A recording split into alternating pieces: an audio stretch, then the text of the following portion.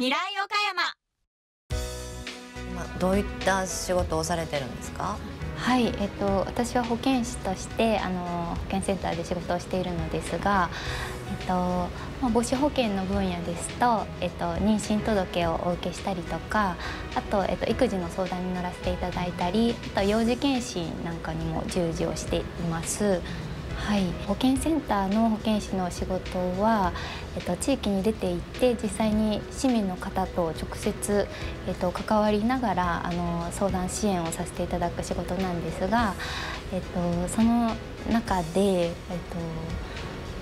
市民の方が、えっと、困られていることだったりとか悩まれていることが自分が関わることによって少しでもこういい方向にあの行った時にとても嬉しく思いますしやりがいを感じます。ね、大学4年間岡山市で過ごしてましてその岡山という町があの、まあ、交通アクセスとか温暖な気候であるとか文化観光資源の豊富さとか非常に魅力あふれる町だなと感じてました。あのイベントの時に休日出勤はあったりするんですけれどもその後有給休暇を取るようにしてましてあの定石のものも休暇を取るよう積極的に声をかけてくれます。その休暇を使ってあの飲食店に行って美味しいものを食べてリフレッシュするようにしてます。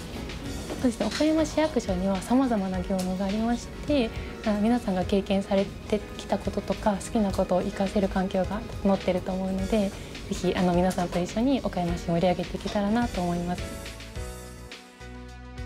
大学卒業程度の事務職と技術職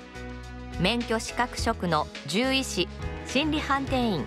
精神保健福祉士保健師管理栄養士採用試験の申し込み受付は5月9日木曜日までとなっています。